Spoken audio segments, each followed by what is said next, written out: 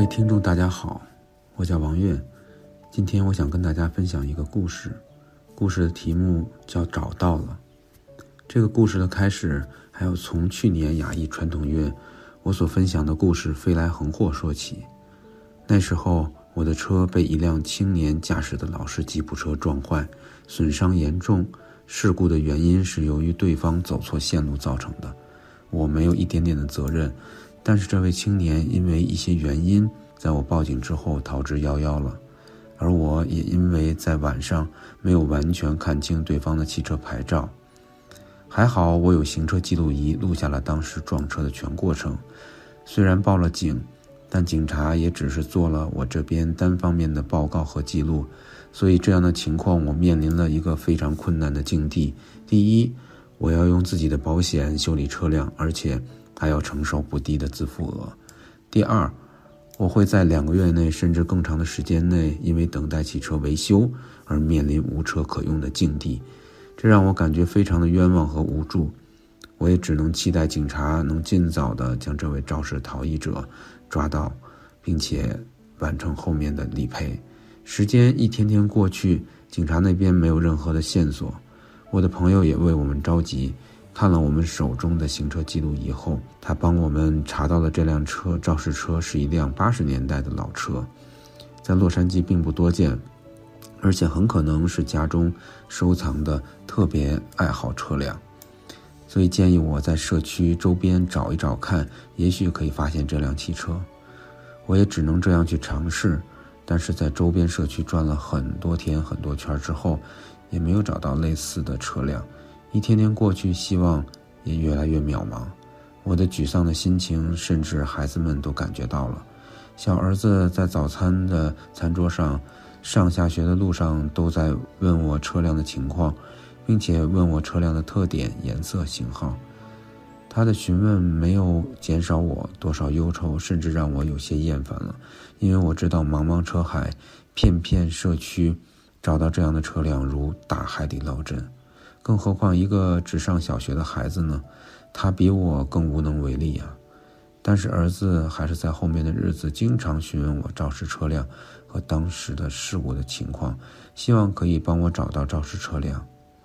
就这样，大约在事故发生后一个月的时间，我记得事故应该是事故整整一个月的那一天下午，因为汽车还在维修当中，我只能去走着接儿子下学。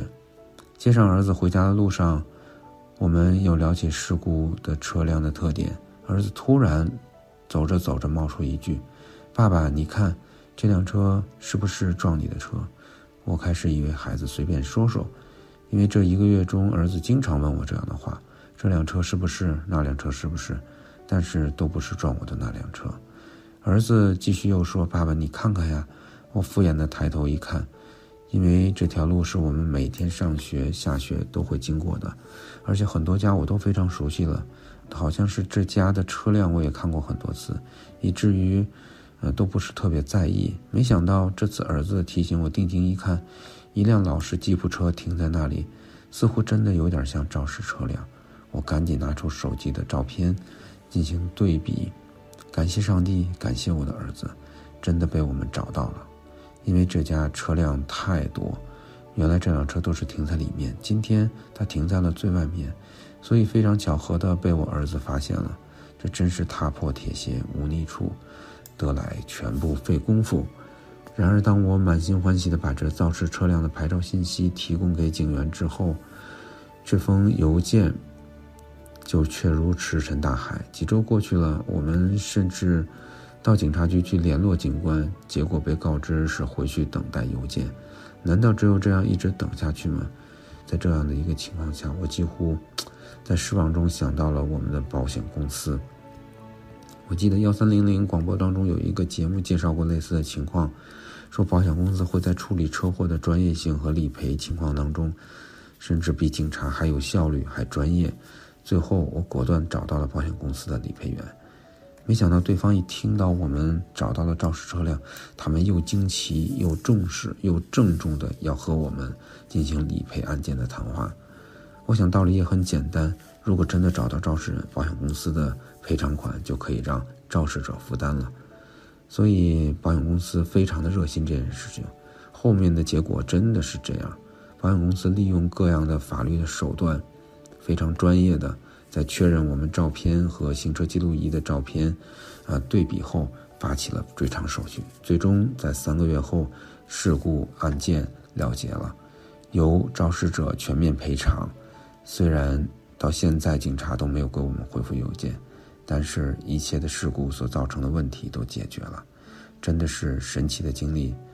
这个事故虽然给我带来很多麻烦和困境，但是也让我得到了父子关系中一段奇妙的经历，同时我也感受到儿子对我的关心和爱，还有他的坚持和他的好运。